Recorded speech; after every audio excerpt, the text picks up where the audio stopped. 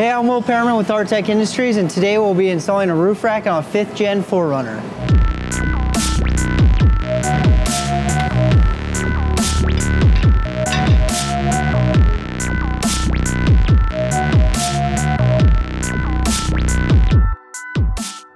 Let's go over the tools needed for the roof rack install.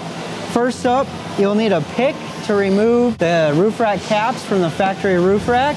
Um, a lot of people like to use the drywall spatula or a scraper to remove them. I prefer the pick and I'll show you the pick method.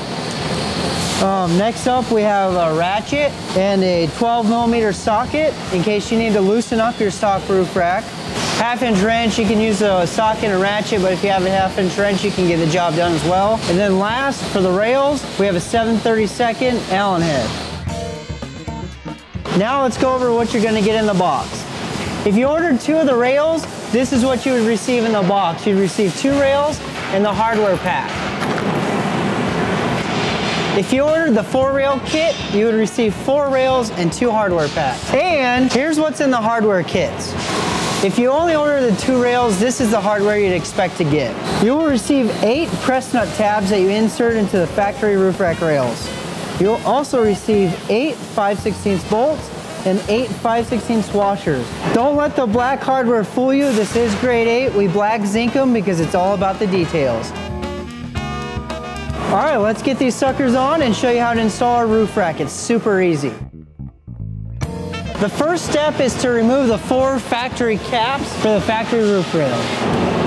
If you've never popped these off before, there's a few things you want to pay attention to. You want to stay away from the paint here. A lot of people like to use the drywall spatula, but I think you run more of a risk of damaging the side of your 4Runner and the paint. So I, use, I like to use the what I call the pick method, where you just fish your pick in and pop the, uh, the little tabs on the inside you get them to pop and it pops off and you don't run the risk of damaging the side by trying to pry up with the drywall spatula or scraper.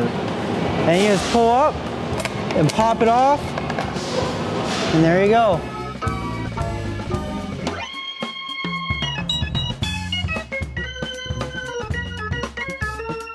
To loosen up the eight bolts, I'll be using my half inch ratchet and a 12 millimeter socket.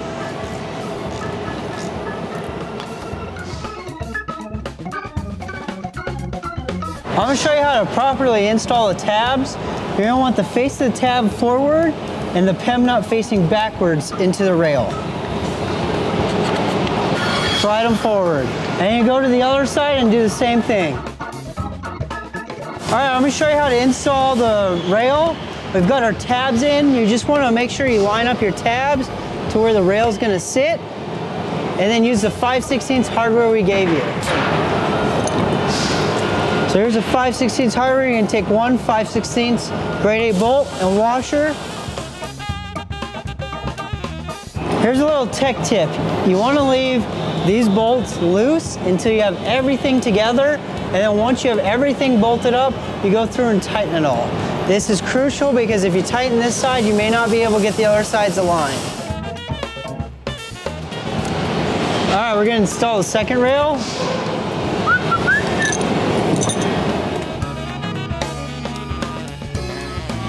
So if you only ordered the two rail kit, your install is pretty much done. You just go through and tighten up the eight bolts, and then go through and tighten up the stock bolts to suck down the roof rack, and put on the plastic caps and you're good to go. If you order the four rack kit, it's as easy as putting on two more.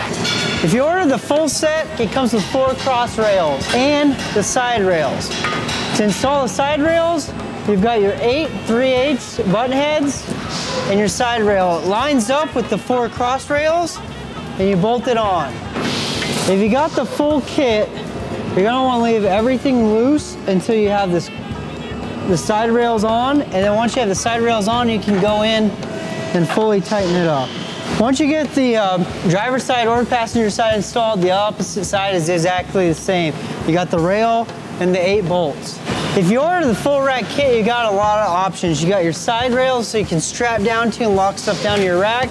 We did a number of things to make these super universal. We added a lot of slotted holes. You got four cross rails to bolt on any accessories you could think of. On the cross rails, we've added a stamp, which increases the strength significantly. This really is a super easy install. If you have any questions though, please give us a call at Artec Industries or visit our website at artecindustries.com. For more install videos, like and subscribe.